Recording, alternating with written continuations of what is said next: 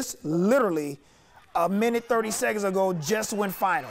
The Skyline Vikings in Class 1A taking on Leroy. They win a 1A state championship. They led 7 0 in this contest and end up winning 9 0. Olivia Treese, the Sanford commit, who also recorded her 1,000th strikeout during the postseason, outstanding in the circle tonight. Skyline brings home their first state championship for softball in school history. Congratulations to those eight seniors on that team. Literally been to the championship uh, final four straight years, fourth time the charm. These young ladies uh, bring home a big blue medal.